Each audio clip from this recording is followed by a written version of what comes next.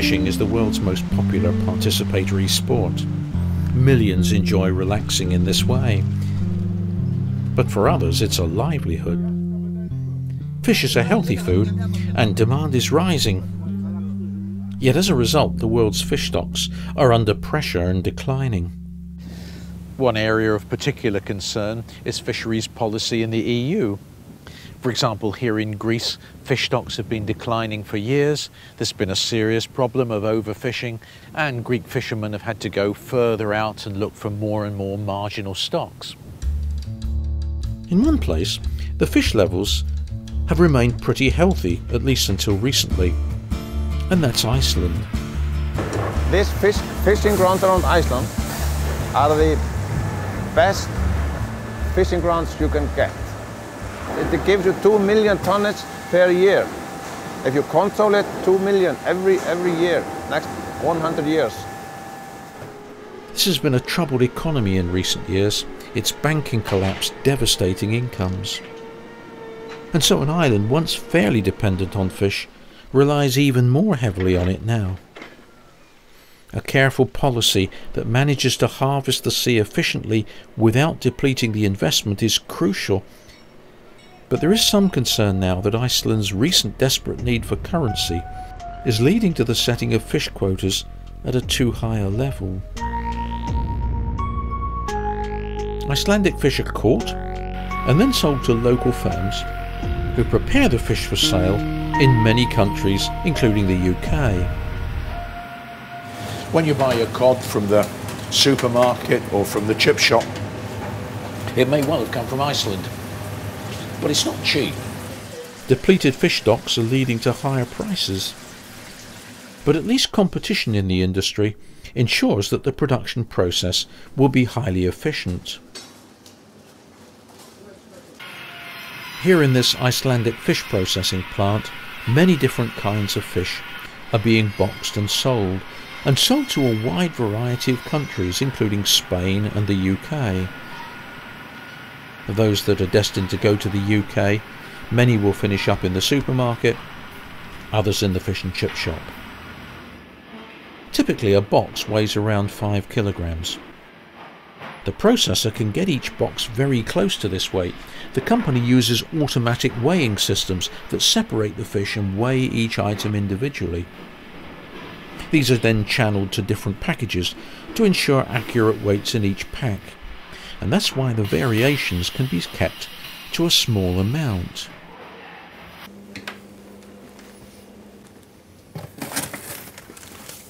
It can't be possible that every single box is exactly the same weight, but the processor needs to be sure that it's pretty close, otherwise his customers are going to start complaining. Now, can we be sure that the great majority of these boxes is within some acceptable range of tolerance? Well, we can, provided we understand Chebyshev's theorem. So Chebyshev's theorem says that for any data set and for any constant k, if that number is greater than 1, at least 1 minus 1 over k squared of the data will lie within k standard deviations either side of the mean. So if we want to know the percentage of boxes lying within a range of two standard deviations either side of the mean, we let k equal 2 and we get 1 minus 1 over 2 squared, which equals 1 minus 1 over 4, which equals 3 quarters, equals 75%. So we know that at least 75% of the values in our case the weights of the fish boxes, lie between the mean and minus 2 standard deviations and the mean plus 2 standard deviations. If we let k equal to 3, if we want to know the minimum percentage of boxes sure to fall within a range of 3 standard deviations either side of the mean, we have 1 minus 1 over 3 squared equals 1 minus 1 ninth or 8 ninths, which equals 88.9%. 88.9% of the boxes will fall within that range. Armed with this understanding, we can choose an acceptable toleration of weight variance. And if we know the standard deviation of the boxes and the mean, we can work out the proportion of boxes that will fall within that acceptable range. So here's our problem. The 5 kilogram boxes have a 5 kilogram mean weight, but with a 0.01 kilogram standard deviation. So at least what percentage of the boxes must have been between 4.95 and 5.05 kilograms of fish, the accepted and acceptable variation. We can use our formula if we first work out what K standard deviations are in this particular case. Now the weight in kilograms away from the mean that's acceptable is 5.05 minus 5, or 5 minus 4.95, which equals 0.05. We know that the standard deviation is 0.01, so dividing 0.05 by 0.01 tells us that in our case k equals 5 standard deviations from the mean.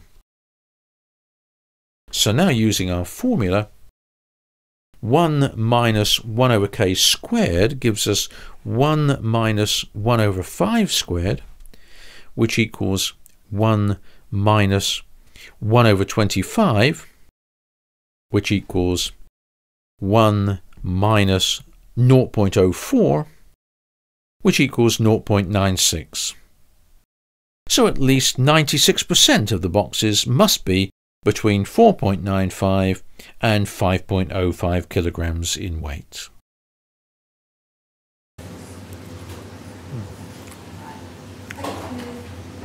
So we can agree on any range of tolerance we like and we'll know the proportion of boxes bound to fall within that tolerance range.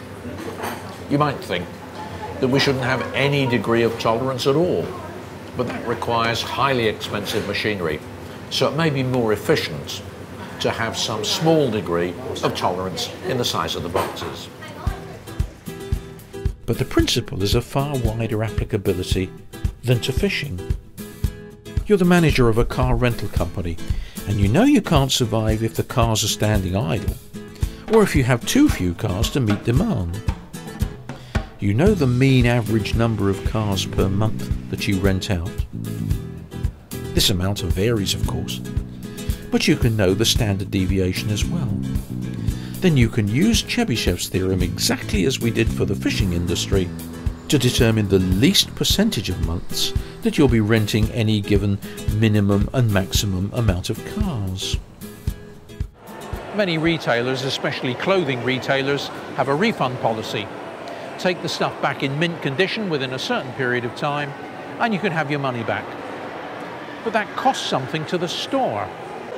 If you're the manager of the store and you know the average number of returns a day and you know the standard deviation as well, then you can use the Chebyshev theorem to give you a good idea of the size of the problem that you'll have to deal with.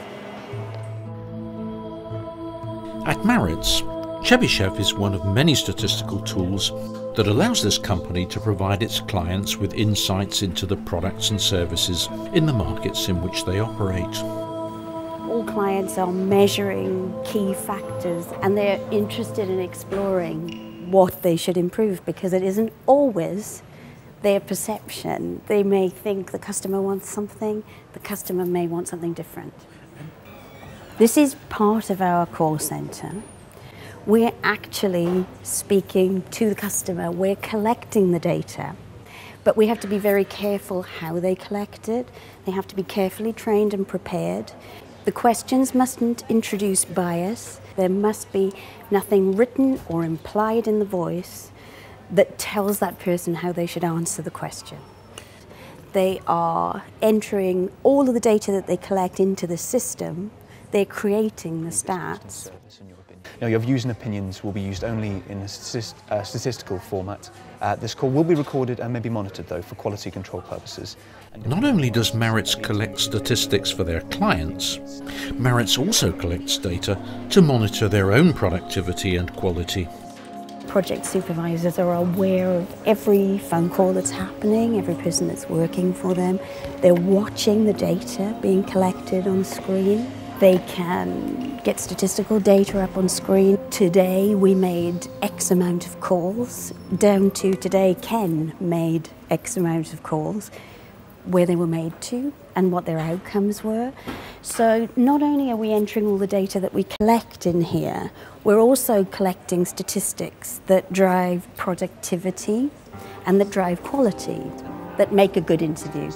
One key indicator that they track is the amount of time it takes to interview each customer. This time varies greatly, but by using the mean average time and the standard deviation of that time, Maritz can specify the time frame for each call and use Chebyshev to calculate a minimum proportion of calls that will fall between those times. This kind of information helps managers control costs and maximize productivity and quality. With these and so many other examples, it's easy to see how Chebyshev can help more than just Icelandic fish processors.